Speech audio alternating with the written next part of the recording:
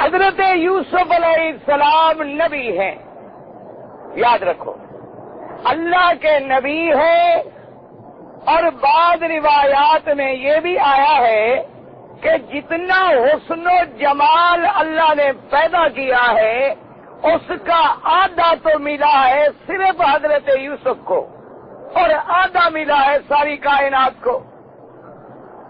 حضرت یوسف نبی ہے اور صرف نبی نہیں یاد رکھو۔ نبی ہے، باپ بھی نبی ہے اور خود بھی نبی ہے۔ حضور نے فرمایا، کریم ابن الکریم ابن الکریم۔ یعنی باپ بھی نبی، دادا بھی نبی۔ یوسف یعقوب کا بیٹا ہے، یعقوب اسحاق کا بیٹا ہے۔ اسحاق اسماعیل کا تعلق ہے۔ اب دیکھیں دادا بھی نبی، باپ بھی نبی اور یوسف بھی نبی ہے اب لمبے واقعے میں نہ جائیں۔ اس قصے کو اگر ہم نے دیکھنا ہو تو قاعدہ یہ ہے کہ اس مقدمے کا کردار کون ہے؟ سب سے پہلی ذات میرے اللہ کی ہے۔ سمجھو مسئلہ۔ اور دوسرا اس مقدمے میں کردار یوسف ہے۔ اور تیسرا بی بی زلیخا، خدا جانے نام زلیخا تھا رائل تھا یہ بھی اللہ جانے مولویوں نے لکھا ہوا ہے، ورنہ قرآن نے نام نہیں لکھا زلیخا۔ قرآن کہتا ہے امراط العزیز، کہ عزیز کی بیوی، اللہ بہتر جانے نام کیا تھا؟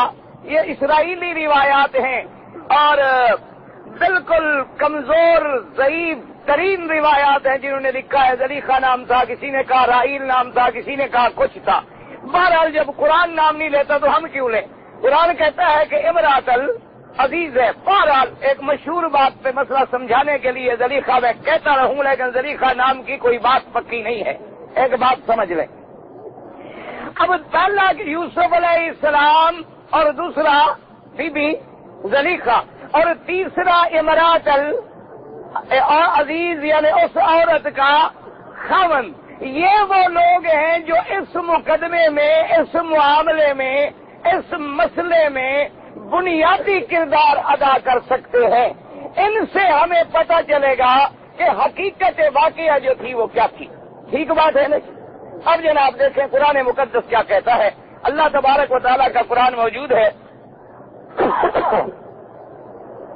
بی بی زلیخا نے جمال یوسف علیہ السلام سے مغلوب ہو کر متاثر ہو کر انتظام کیا، اہتمام کیا اور حضرت یوسف علیہ السلام جن کو خریدا ہوا تھا اور ایک غلام کی حیثیت میں اس گھر میں زندگی گزار رہے تھے، انہیں بڑے بہانے سے بلایا اور انتظام یہ کیا کہ جوں جوں یوسف آتے جائیں، دروازے بند ہوتے جائیں۔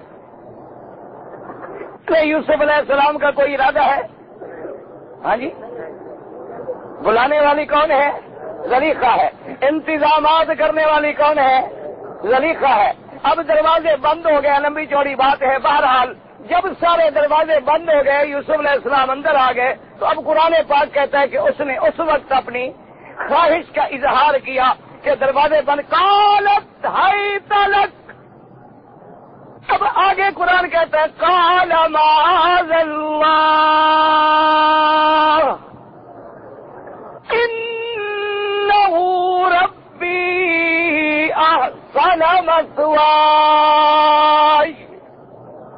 انہو لا الظالمون۔ اللہ کا قرآن ہے جب بی بی نے دروازے بند کر کے اپنی خواہش کا اظہار کیا کہ یوسف آگے بڑھے، مجھے اپنے سینے سے لگا لیں میری تمنا پوری کر دے۔ فوراً یوسف کی زبان سے کیا نکلا کہ معاذ اللہ؟ مجھے اللہ کی، میں اللہ کی پناہ پکڑتا ہوں، تم کیا کہہ رہی انہو ربی مسوائے اگر تو اپنے پالنے پولنے کا، کھانے، کھلانے کا بدلہ یوں لینا چاہتی ہے، تو نے تو مجھے چند دن پرورش کی ہے، میں اپنے اصلی رب کو کیسے بھول جاؤں؟ اس لیے آگے لفظ آیا ان ربی تاکہ میرا رب وہ ہے جس نے مجھے ماں کے پیٹ میں پالا ہے۔ جس نے مجھے یعقوب کے گھر میں پالا ہے، جس نے مجھے بھائیوں نے کنویں میں گرایا، وہاں میری حفاظت کی ہے۔ اگر میں بھی غلطی کر کے ظالم بن جاؤں تو ظالم تو کبھی پناہ اور فلاں نہیں پا پکڑ سکتے۔ میں اپنے اللہ سے پناہ پکڑتا ہوں، معاذ اللہ۔ اور جو آدمی اس وقت بھی کہتا ہے، معاذ اللہ، اور آنے کے وقت بھی ارادہ نہیں ہے، اسی سے اندازہ لگائے کہ کیا یوسف نے گناہ کا ارادہ کیا تھا۔